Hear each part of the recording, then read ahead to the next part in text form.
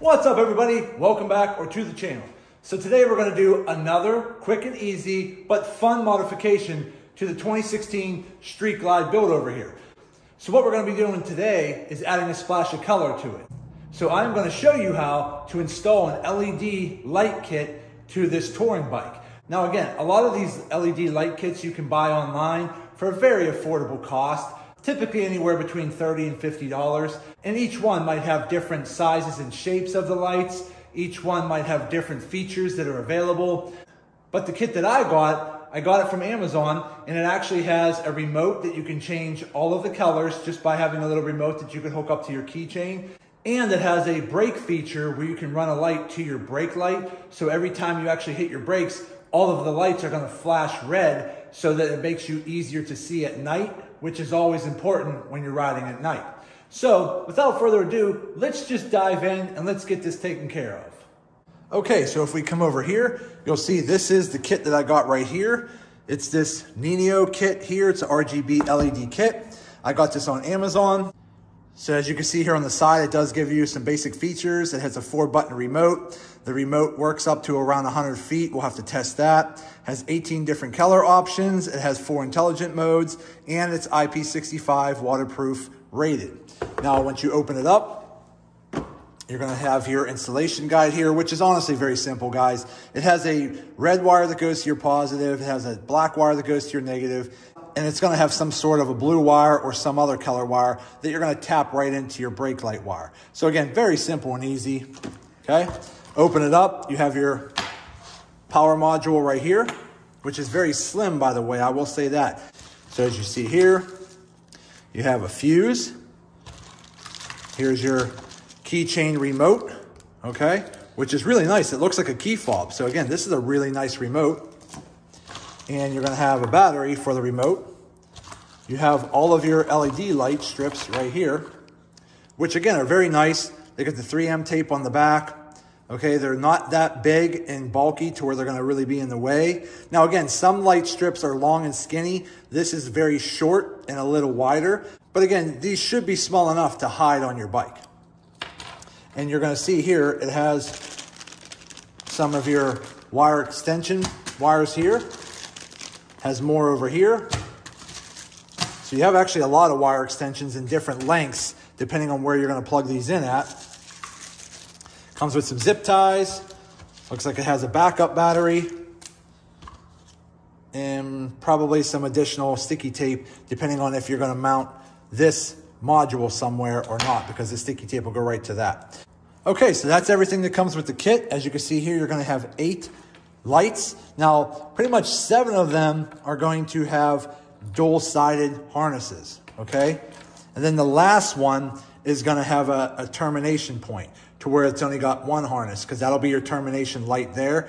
That way you don't have to worry about lights hanging out that you have to tape up or so, which a lot of cheaper light kits have that. They're pretty much just extensions that stick off the back and then you have to tape them up out of the way. I believe that bike might have one somewhere. I don't remember where. But this kit here looks to be pretty easy and pretty simple. Again, I actually like how the wires are nice and flat and the harnesses look pretty good. So what we're gonna have to do to try to get this installed couple things we're gonna need to do is the easiest is gonna take off your seats and take off your side fairing, take off your Saddlebags, um, some people actually find it easy to take off their tank, but I'm not going to deal with taking off the tank because that's a little bit more of a headache to do. Um, I'm going to try to hide these lights throughout the bike without taking the tank off. So to make everything pretty simple and easy, I'm just going to take the seats off and take the saddlebags off, and that should give me a little bit of room to work with when mounting these lights. So without further ado, let's just jump in and get this taken care of. Okay, so we are back. So I went ahead and I took the saddlebags off and I got the seat off. Now, as you can see here, this is where your ECM is sitting. So depending on which year model bike you have, it might be clipped in differently. But this one here pretty much just pops out of the way and you can set it out of the way like that, all right? Okay, then you're gonna have typically two bolts right here, but I've already took mine out. So that way this top cover pops right off from your battery. Now there are gonna be two harnesses here. You're pretty much just gonna pop this one off here, unplug that. This one here, this black harness here, is pretty much gonna go to your brake light. The gray one here is pretty much gonna go to your fuel. So just go ahead, disconnect those two harnesses, pop off this top battery cover, and then you'll have access to your positive and negative terminals. So once we have that figured out, then we can start diving in and figure out where we're gonna place all of these lights. Okay, real quick, when you're unplugging your harnesses here, sometimes they're zip tied to the bike to keep them out of the way. You can just go ahead and cut those zip ties. That way you can move all of this out of the way. Just remember that when you're putting it all back together to put that zip tie back on. Okay, and one thing I would recommend is if you happen to have any of these types of fittings here that you can go ahead and splice on to the end of your power and ground, I would definitely try to recommend that and just get one of these fittings that are big enough just to go over the bolt that goes to your power and ground on your battery, which is what I've done so far. So I already had these laying around. That'll make installing this a lot more secure. And then you can just go ahead and use one of these uh, clamshell type clamps here for when you're attaching your wire to your brake light. That's all you need to do there. You don't need to splice in or cut your factory harness for your brake light. Just go ahead and tap in with one of these for your brake light wire that's coming off the module. So now that we have a general idea of how we're gonna wire that all up, again, I already have everything taken off over here. So I have full access to my battery terminals. We'll be good to go. So now all I have to do is go over the bike and figure out where I'm gonna actually mount these. Now, typically what you wanna do is get like an alcohol swab or just put a little bit of alcohol on a rubbing pad and just clean the area on the bike that you're gonna be applying these 3M tape strips just to make sure they adhere really well. So let me go ahead and figure out where I'm gonna place all these lights and then we'll be right back. Okay, so we are back. Now let me just show you quickly how I ran all the wires. I just did a test run for now. So I mounted the control module right here with the 3M tape right inside this little pocket. Then I have my wires coming behind there that I'll actually tie into the battery into my uh, brake light wire over here. Now, from the module, keep in mind, there are three different lengths of cables. There's a short length, a medium length, and a long length. So you're gonna have to play around to see which ones work best. That's why I do a test fit like this. So the first lead that comes off the module, I ran to this light right here, which is gonna get taped right up under here behind the engine. And then I have, I believe, a medium length cable coming from here behind the bike, putting a light right here, which I'm going to tape underneath the saddlebag bar. And then I might just add a zip tie there just to be safe. And then I believe I have another medium cable coming from this light that's routed back the same way underneath to here, which I'm gonna mount to the inside of the frame, not the bottom, because it'll if because if you ever use a bottom jack, it'll get messed up. So I have it mounted up here behind the bottom of the frame so you won't even see it. Then I have a medium cable coming from that one running up here to this light. Ah, I think it fell. To this light right here, which I will mount to up underneath the frame here to face down on the engine. And then I have a cable coming from that light that's gonna come down and put a light into the front fender on this side.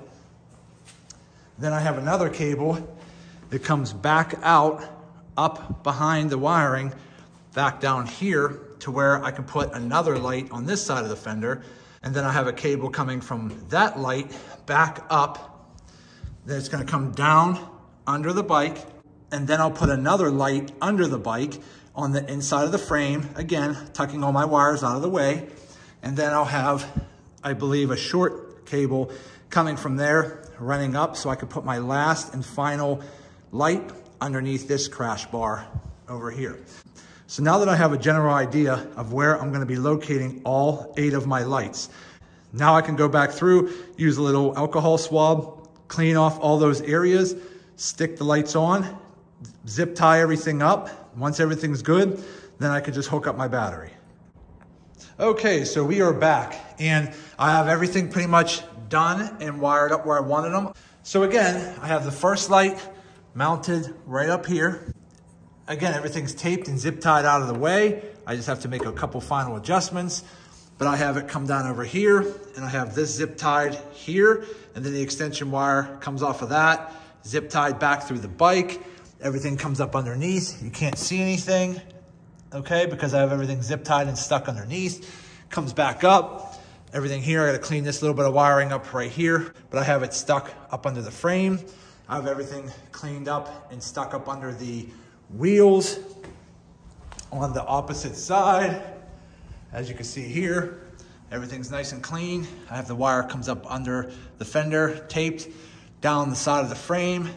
I have everything taped up real good so it's out of the way and you can't see it. It comes up underneath here. I have the wire ran behind the saddlebag, zip tied, and it ends right there. So all of my lights are now ran throughout the bike. Everything's mounted, zip tied, stuck to the bike, and everything comes right here to the actual controller. So all I have to do now is hook up my power, which is the red, the ground, which is the black, my brake light, which is the white, get that all mounted in, and then we'll be pretty much done to test them to make sure they work. As long as they work, we'll start putting the bike back together. Okay, so we got everything hooked up. And as you can see here, I have my positive hooked up to the positive terminal. I have the negative or the ground hooked up to the negative side of the battery. I took my white wire, which is the brake light wire, and I found tapping it into this blue wire here that has more of an orange or pink stripe works. I tried this one with the red, but it's hard to tell the colors unless you have really good eyes. But I found that this one here with the lighter orange or pink purple color, whatever color that is, my eyes don't really see it that well, but that's the color I used there, not the one with the red, because that didn't work. So I hooked it up there and everything works. So here we go. Take our remote. Now this red button here, that's gonna turn them on, watch. So now the lights turn on, everything's lit up. So A is gonna change the colors. So I can go here, change it to blue. Now they're not flickering in real time. That's just because the LEDs are flickering in the camera. So you have, keep hitting A and you could cycle through all of the different colors, okay? Now what's cool is once you go into a different color, say blue. Now B on the remote is gonna change it to a, like a flashing light. So again, you could change the whatever color you're on, you hit B, that changes it to flashing. C changes it to gradient. So it actually will kind of like pulse real slow on and off. But if you just leave it on A, that's just a solid color. Now here's what's kind of cool is, again, the remote's real nice. You can just keep up on your dash or hanging off your handlebars or in, if you have any kind of storage up here. Um, the remote's really, really handy. Now what's cool is, check this out. Turn your bike on, now, because we have the safety light hooked up to the brake light, now no matter what color you happen to be on, if you're riding with color, hit the brake, everything goes red. You hit the handbrake here, everything goes red. So as you can see here, So it's a safety feature so that if you're running your lights at night, no matter what color you're running, as soon as you hit your brake, the lights are gonna automatically turn red. That way you're turning your entire bike into a brake light instead of just relying on a little light in the back. So you're gonna be visible a lot more at night. Now what's really cool is when you turn the lights off, here I'll just hit the red button again. So they're completely turned off. Because I'm still getting some power from the brake light. Now watch this. They're turned off. So now you've basically turned your entire bike into a brake light, which I think is pretty cool too. So if you're driving at night, you're gonna be definitely seen a lot better with this type of setup. Okay, so now that I know that everything is working and functioning as it should, I'm gonna tape up a couple more of the wires over here, and then I'm gonna put everything back together. So I'll be right back in a minute. Okay, we are done. The bike is put back together. So let's just hit the remote and see how it turns out. Now again, I shut the door and I shut the lights off, but it is still bright outside. So this is not gonna give you the best representation, but let's give it a try. There you go. So I got the front wheel lit up. I got a little bit of the engine lit up. I got the bottom of the bike lit up pretty well. So it's gonna have a nice glow to it. Let's check the other side. There you go. That's what it's gonna look like. Switch the colors out. Green, yellow, like a teal, orange, purplish pink, a lighter green, blue, another teal. Again, dark blue. There's a lot of cool colors to this. The last one is just gonna be more of a rotational color. There you go. So there you go. So everything works good. If you want it to blink, hit B. Okay. If you want it to pulse, hit C. Everything will pulse. Again, we're just gonna go back to a solid color. There you go. And if you hit the brake, everything turns red. Okay. So it's all done there. So again, everything turned out awesome. The remote is super awesome. And again, to turn it off, just hit the red button at the bottom. Everything turns off. Now again, when your bike's running with the lights off, you can still hit your brakes and they still function as brake lights. So there you go. Okay, so we are in the garage. It's pretty dark outside right now. So as you can see here, the garage is a lot darker. So I'm gonna go ahead and just hit these lights and see how they look in a little bit of a darker situation. So here we go. There you go. Look at that. That's more of a green. Now again, I'm not sure how well these colors are gonna show on my camera, but that's actually more of like a yellow. It's kind of more, eh, it's more whitish. That's more of a teal. There's like a purplish. Again, as you can see, you can go through these colors. That's actually more white. So again, that looks awesome. This right here is the rotational color. So it's just gonna rotate through all the colors. So again, once you get a color you like, let's say you like red, you could hit the second button and make it flash. You could hit the third button and make it gradient, which is pretty cool. So there's blue again. Then if you want to turn it off, you hit the bottom button, boom, completely off. Want it back on, boom, there you go. So again, pretty awesome. Now let's go ahead and try the brake feature. Okay, so I'm right next to the bike. So let's give the brakes a pull and see what they look like. So again, right now it's showing blue. Let's hit the brake. See, everything goes right to red. So anytime you hit a brake, it's gonna go straight to red to create a brake light. We're gonna hit the top one right here. There you go. So as you can see, the brake feature works out pretty awesome. So again, that's what it looks like in the dark, and I'm really happy with this overall. Okay, everybody, so we are done. We finally got everything hooked up, everything's zip tied, everything's taped up where it needs to go, everything's hooked up to the battery. We tested all the lights. They look great. They function great. I really think the lights look really good, but overall, I like the placement of where I put them all. Everything looks awesome, and I really think it's cool that it has the brake safety feature, so whether the lights are on or off, anytime you hit your brakes, you're going to have all of your lights are going to are to light up red. So you're basically turning your entire bike into a brake light, which is going to really help you be seen better at night when you're driving. So that's it. I hope this video helps some of you guys out. Do me a favor, hit that thumbs up button, like this video. If you have any questions, put them in the comment section and I'll get back to you as soon as possible. And do me a favor, subscribe to the channel because it definitely helps me out and I really do greatly appreciate it. Again, I just want to say thank you to each and every one of you. I truly appreciate you all. Thank you, and as always, see you in the next video.